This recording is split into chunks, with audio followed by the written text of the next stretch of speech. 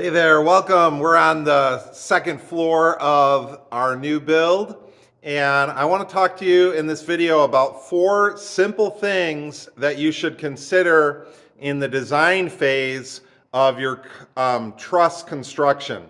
Uh, the first one's going to lead into the second one.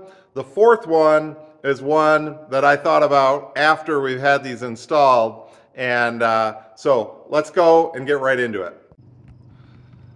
The first thing that you want to consider is the length of the overhang here in your truss design and how far you come out.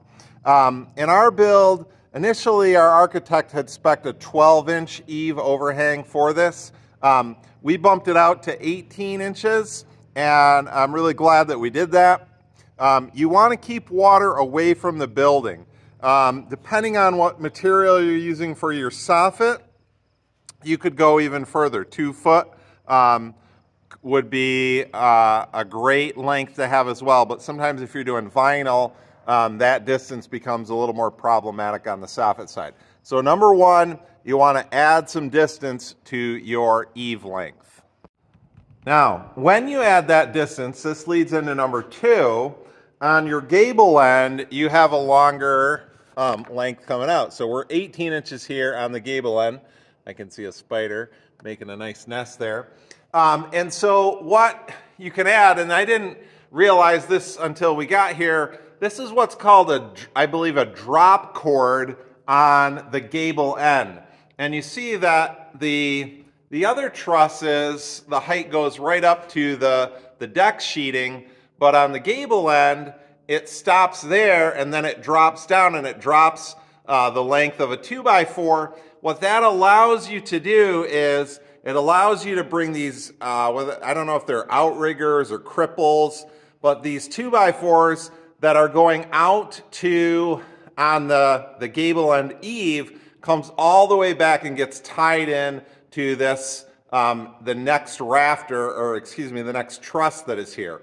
The advantage of that is it creates a much stronger eave and it's a lot simpler um, from a connection point for you on there. So a real simple little adjustment, a drop chord on the gable end is going to add strength to your um, eave. And you want that, especially if you're adding some more length onto that eave side. All right, the third thing, and this should be honestly standard if you're doing blown in cellulose, and I don't know if it is or not, but it definitely should be standard, is you want to create what's called a raised heel. I think there's some other terms for it, but uh, a raised heel. Some, some people might call this a drop truss. What we have here is this extra height um, along the edge of this, and that does a few things. What that really allows for is we're doing blown in cellulose and so it allows for our blown in cellulose to become the same height as it's going to be throughout the rest of the, um, the attic. And it gives us that nice 14 inches of depth on there. Also, as you can see, it allows us to bring our sheathing layer up.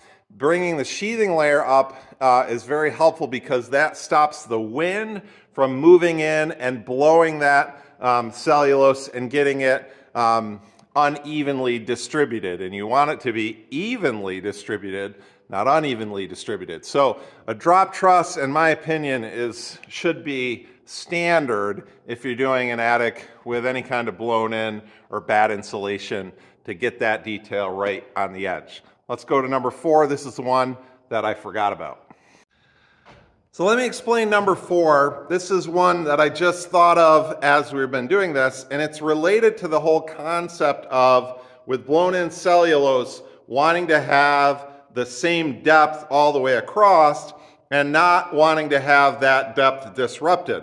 Well, obviously, uh, you're required to have access to your attic. And so most people are doing that through some type of ceiling penetration attic entrance if you have to get to the electrical or that type of thing. We're not planning any storage in ours. It's just purely for that reason.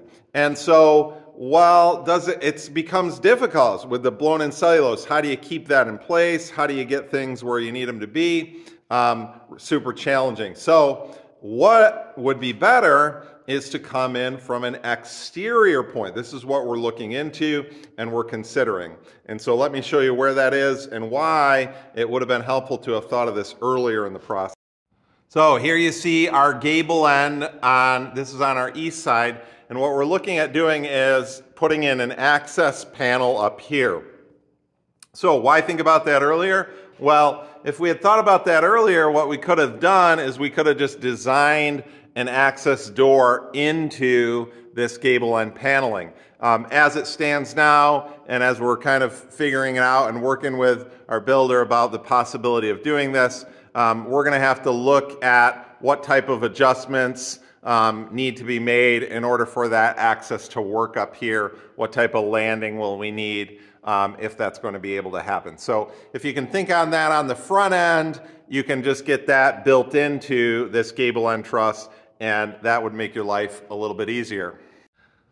So one of the themes that you're going to see from me as we go through this build, and if you've been following along, is that I'm really mindful of you know, energy efficiency, air sealing, those type of details in the performance of the home and how to recognizing how to do that in an economical way. You know, you can build a Cadillac, you could buy a Cadillac or you could buy a Camry and they both perform really well. Um, the Cadillac uh, cost a lot more. And so uh, one of the ways that I kind of look at it and a lot of the information out there is like the Cadillac of houses that you find on YouTube. But um, a lot of people are in the Camry budget, and with the right attention to detail, you can get great performance without um, the super high premium price tag.